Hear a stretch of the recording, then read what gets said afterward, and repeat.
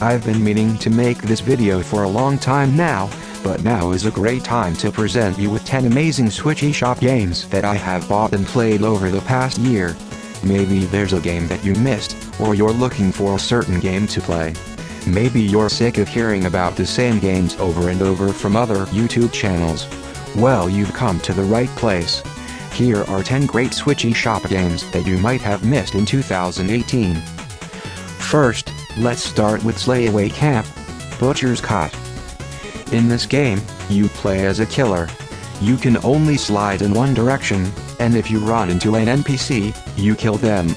The goal is to kill all the NPC on the stage and make it to the exit space, but in deeper parts of the game, it can be more trickier than it appears. There are hazards like SWAT men, cats, water, fire and more. You can even customize your killer. There are over 100 different levels to play, and it's a great value nowadays. You can even choose to turn off the gore, but I have yet to see what that's like. Many people see that it's trying to imitate Friday the 13th, and as a matter of fact, the studio did later score the rights to Friday the 13th to give us Friday the 13th Killer Puzzle. The graphics are more detailed than the previous game, and it's a more linear style game than the other. Rather than customizing your character, you can just change Jason's weapon to one of various different objects, such as a ski pole, a sword, a fire poker, brass knuckles, and more. The exit panel in the previous game is now one final victim that appears after you kill all the other victims in the level. Like Slayaway Camp, you can also turn off the gore. This is a fun game, but I recommend playing Slayaway Camp first before considering this one. If either of these games are too violent for you, there's always Conga Master Party. Conga Master Party is a pretty unique game. The goal of this game is to grow your conga line until you have enough of each of the four types of dancers, classy dancers, sexy dancers, nerdy dancers and cool dancers. You have a momentum meter that you would like to keep up. Once you have no more momentum, the game is over. You get more people in your conga line by moving around them close enough for a period of time. If you attract a pig to join your conga line, you lose momentum. There are also various characters to unlock and play as, each of them have different attributes in speed, turning, attractiveness, and noticeability.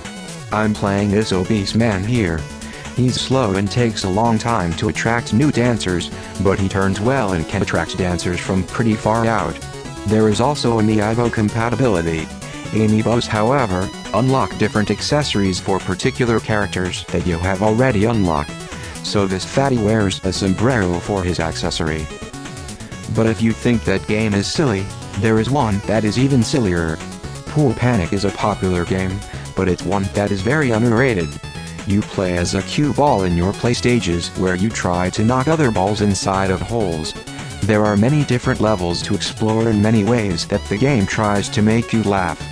The art style is really well done and for $15, this game has many different stages and content.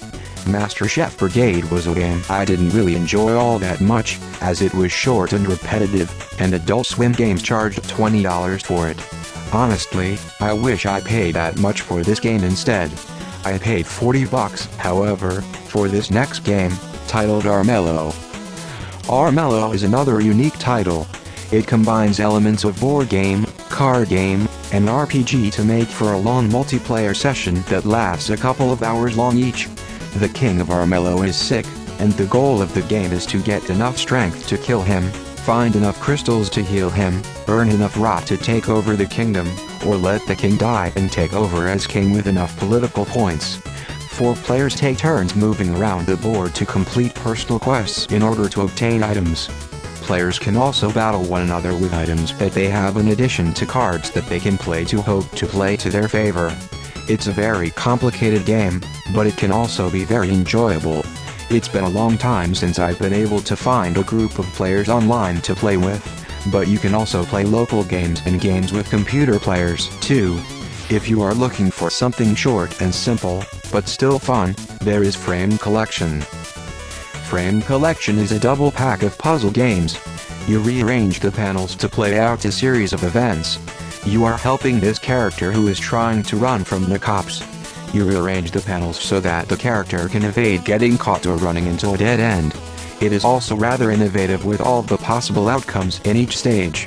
At times, it can be tricky, but it shouldn't take long to find out what to do on each level. I learned about this game on Metal Jesus Rocks channel, and I feel that this is one that slipped under the radar. Another game that slipped under the radar, we got Forgotten Anne. Forgotten Anne is a cinematic 2D game that reminds me of Dust, an Elysian Tail with an animation style that tries to look more epic than anything. This is a puzzle platform game that takes place in a steampunk world called The Forgotten Lands, a parallel universe where forgotten objects come to life and hope to one day go back to the real world to be remembered once more. Kicking definitely won't help. The reverser at the watchtower is broken. You can't fix the flow from here. Oh, I'll never go home now. I'll never again feel my owner's feet. Never again will go hiking or climbing or, or running or... I'm on my way to restore Anima to the workshop. You are? Wonderful! We might actually get to go home! I miss feet most of all. What do you miss most from the human world, Enforcer?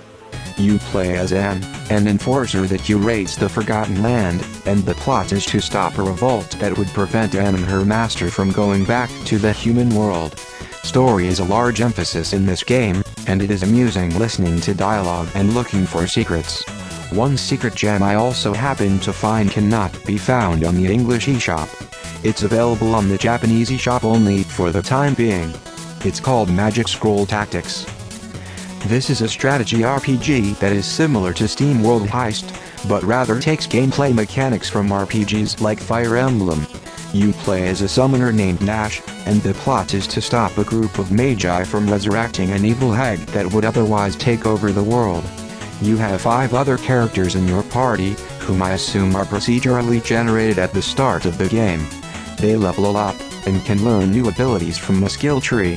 This is a well-crafted game, and if you can't wait for it any longer, it's available on the Japan eShop and will play in English. Boom Ball, Boost Edition. This is a 3D puzzle game where you are to hit the ball at a series of blocky structures. You can either use the Joy-Con and wave them around in order to hit incoming balls, or use the touchscreen to swipe at them. Boom Ball was one of those Kinect games back in the day. If you opt to use the touchscreen, you better be prepared for those balls to come out at you. Does it look like a shovelware game? Absolutely, but it doesn't mean you might not have fun with it. Last but not least, we have Hand of Fate 2. I played the first Hand of Fate game on Xbox One. Both these games involve moving a marker across a series of cards. When you go to a card, you flip it over and an event appears, either a mini-game, a decision-making event, a shop, or even a battle. The battles are similar to Batman Arkham battles where you attack foes, counter attacks, and use abilities to take thugs out. In Hand of Fate 2, the argument to each chapter in gameplay is a little more complex. All in all, it's a really fun and challenging single-player game that can really bring you to the edge of your seat. 2018 was a great year for indie titles on Switch, and this just goes to show that Nintendo doesn't have to curate shit. If we got a curated eShop, it would be harder for games like these to have been discovered. 2019 could be another great year for indie titles. What are some other eShop games that you recommend? Leave your thoughts in the comments section below.